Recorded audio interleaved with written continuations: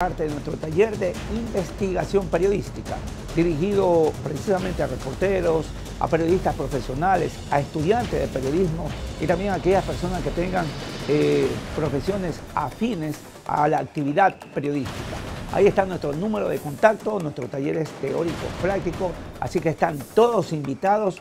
Eh, nuestro cupo es limitado con el auspicio del Hotel Ramada y el Parque Empresarial Colón.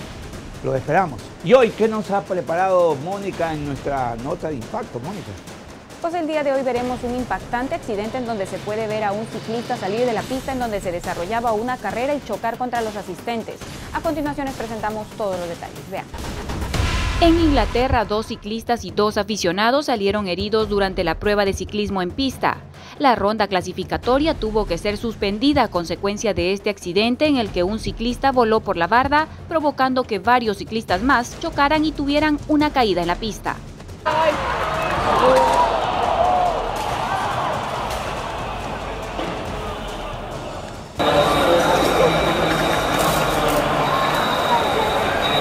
El competidor perdió el control y saltó la barrera al costado de la pista, donde voló sobre los aficionados en primera fila.